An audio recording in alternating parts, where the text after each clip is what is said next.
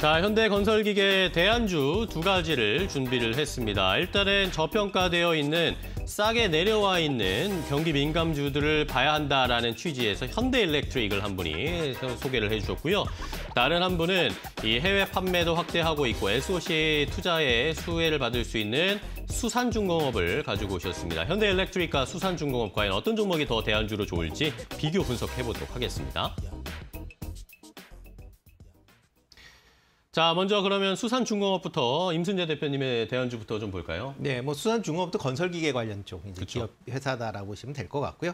어, 특히 이제 유압 브레이커나 이제 트럭 크레인, 그 다음에 이제 유압 드릴 이런 것들을 이제 생산하고 때문에 특수 차량도 이제 같이 생산을 한다라고 보시면 되겠습니다.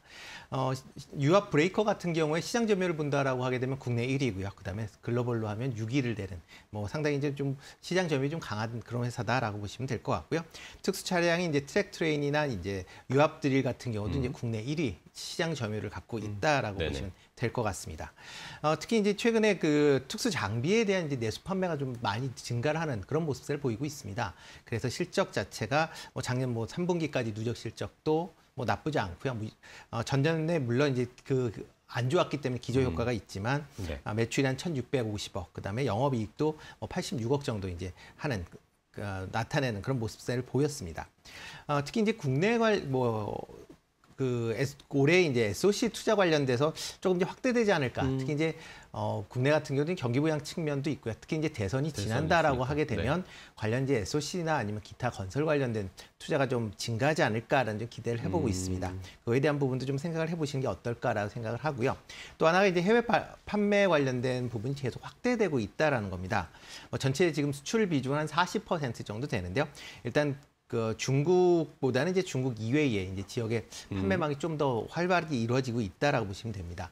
대표적으로 이제 동남아 시장을 이제 적극적으로 공략을 하고 있다라고 보시면 되고요. 그다음에 유럽이나 러시아 쪽에도 판뭐 그 국내 그 건설 기자재에 대한 이제 수요 수요나 그다음에 이미지가 좋기 때문에 판매가 확대되고 있다라고 보시면 되고요.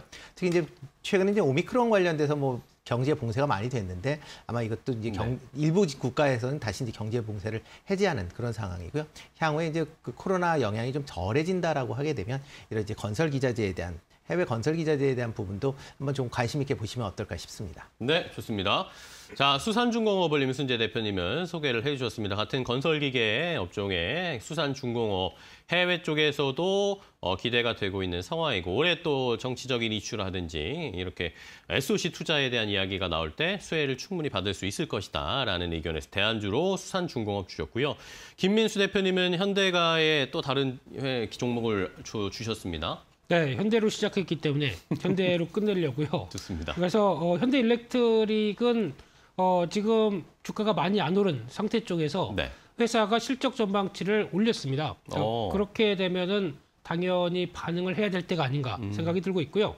일단 이 회사는 어, 다 아시는 것처럼 변압기 그리고 또 고압 차단기 어, 그리고 또 어, 어떤 중저압 차단기 관련된 이런 배전반 즉 어, 어떤 전력과 관련된 쪽에 대부분의 관련된 흐름을 하고 있는 음. 또 회전기기 같은 경우는 이제 전력이 들어가면서 기계가 움직이게 만드는 약간 모터 같은 역할을 하고 있죠. 음. 이런 쪽에서 어, 영향을 어, 실적을 꾸려가는 회사인데 대표적으로 어, 미국 인프라 투자 수혜를 볼 수 있는 부분들 어, 변압기 쪽 관련돼서 어, 건물이 노후화되거나 음. SOC 투자를 했었을 때 또 들어갈 수밖에 없는 부분들이죠.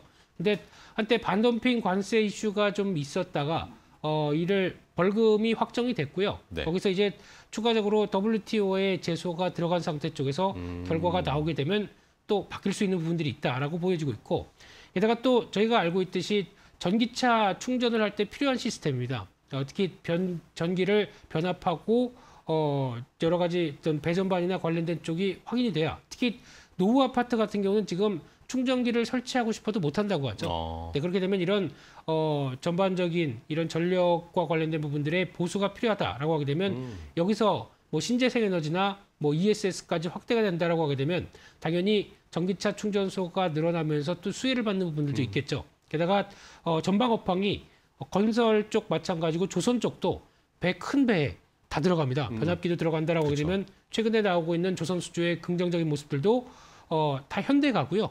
똑같이 현대 쪽이면 어디 거 쓰겠습니까? 네. 네. 그러다 보니까 이에 따른 어, 수혜도 있다고 보여지고 있는데 네네.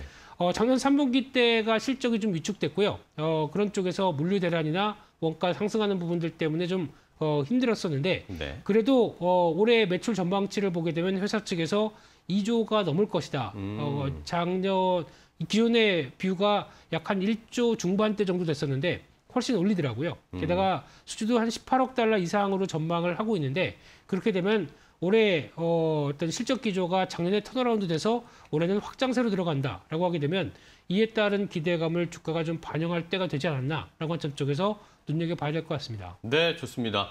자, 현대 일렉트릭을 김민수 대표님은 주셨습니다. 현대 건설 기계에 이어서 현대가의 현대 일렉트릭이 어, 수혜를 받을 가능성이 있다라는 의견. 실적 개선되는 경기 민감주의 하나로 또 현대 일렉트릭을 소개를 해 주셨습니다. 자, 그러면 가격 전략을 살펴봐야 되겠습니다. 어쨌든 두 종목 다 가격이 뭐 그렇게 올라와 있지 않은 상황이기 때문에 한번 잘 매수를 해보면 좋을 것 같은데요. 김민수 대표님부터요.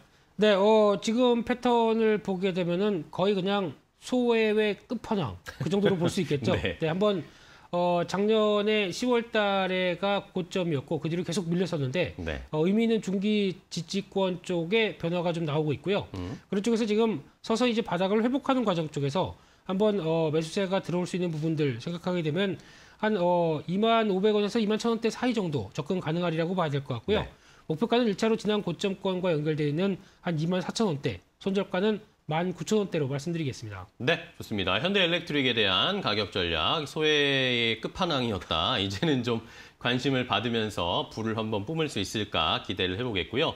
다음은 수산중공업 보겠습니다. 수산중공업도 많이 눌리고 어, 하지만 그래도 예쁘게 차트가 좀 돌아가고 있더라고요. 네, 예, 그렇습니다. 일단 뭐 작년 초에 그 뭐 정세균 테메주라고 해서 이제 한번 급등을 한 이후에 지금 옆으로 네. 좀 많이 횡보를 그 이후에 계속 좀 하락을 하고 있는 그런 추세다라고 보시면 될 것 같습니다.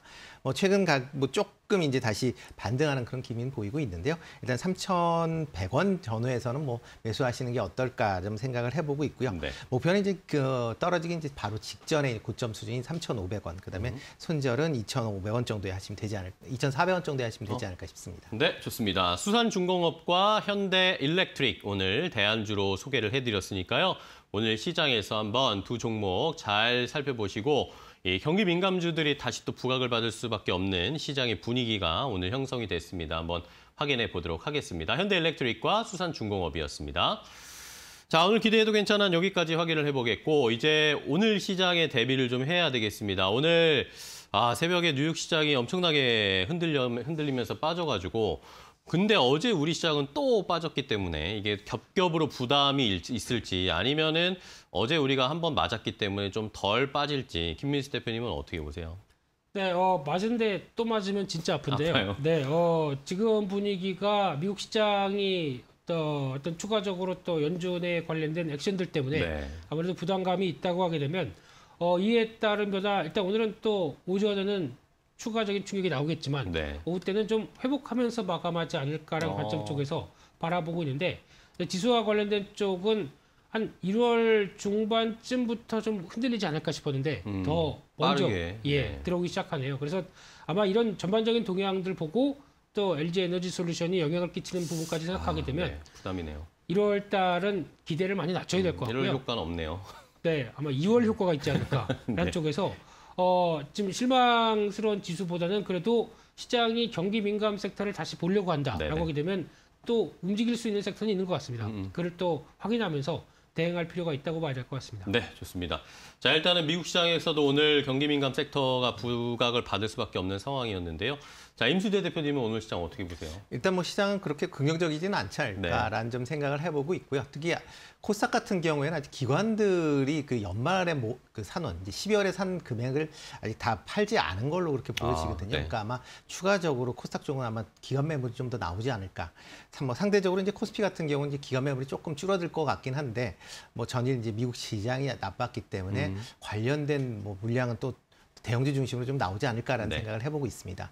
그렇기 때문에 개별 종목 중심으로 아마 매매를 하시는 게 좋지 않을까 싶습니다. 네, 좋습니다. 어쨌든 오늘 시장 쉽지 않을 것으로 예상이 되기 때문에 좀 긴장을 하면서 출발해야겠습니다. 오늘 두 분 좋은 이야기 해주셔서 감사하고요. 다음 시간에 또 뵙도록 하겠습니다. 고생 많으셨습니다. 고맙습니다.